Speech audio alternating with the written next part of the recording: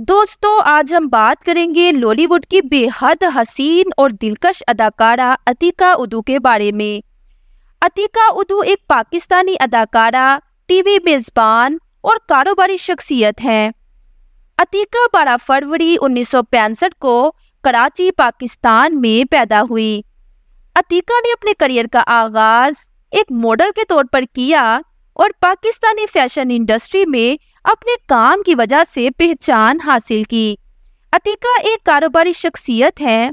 इनकी अपनी cosmetic line है, जिसे उदू कॉस्मेटिक कहा जाता है, जो खूबसूरती और स्किन केयर प्रोडक्ट्स को पेश करता है।